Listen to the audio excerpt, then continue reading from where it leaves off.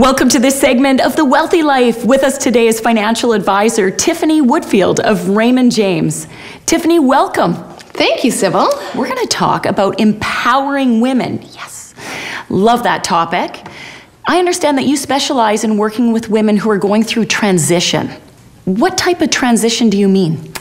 Transition can mean many different things, but when I think of transition, what it means to these women is somebody who's gone through a divorce, maybe become a widow, somebody who's could have changed jobs or just moved for retirement, moved into retirement. Those are all transition stage, and there's many more.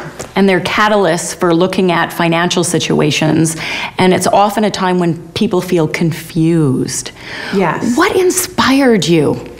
It's interesting. I go back to my grandmother, and we used to dread going to my grandmother's house. It used to be you'd go in and you'd walk in, and she would always be unhappy and tired.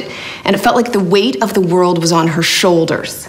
I'm exhausted hearing it. Oh, it, it was. That's how it felt. And she, it was interesting. She felt trapped because she was in an unhappy marriage and she didn't understand her financial situation. She didn't understand how she could be freed.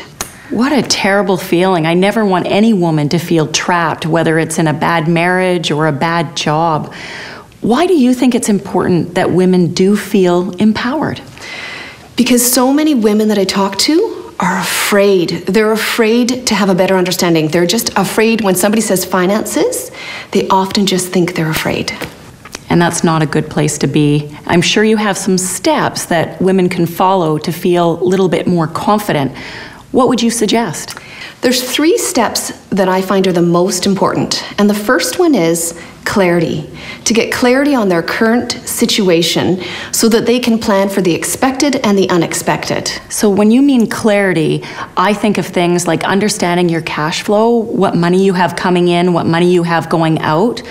Net worth is looking at what assets do you have, where's your money invested, and debt do you have any debt and how much is it?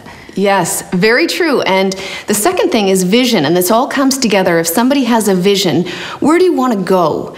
So, have a financial plan that enables you to have your vision, whether that be I want to save up for my grandchildren, I want to do that trip to Italy that I've never been able to do. So, all of those things enable you. And the third thing, which is the most important, is to have somebody who's your financial coach, who celebrates your successes, who guides you through those difficult times, and makes you feel more comfortable. So, things like you know you can maintain your lifestyle in now and into retirement. So it's having a strong accountability partner. And that accountability partner or coach, financial advisor will help prevent you from doing the things you shouldn't do and to keep you excited and motivated and on track for doing the things you want to do. Exactly. And we think back to my grandmother in this situation who had that weight on her shoulders. If she had this person, she could have lived a much different life. That's powerful right then and there. So, the first step I would encourage for our viewers is get in touch with us. We'll send you a complimentary cash flow snapshot and net worth statement. And taking the time to fill those out is the first step in getting clarity and feeling in control of your finances. Tiffany, thanks for being on the show. Great advice. Thank you for having me. I appreciate it.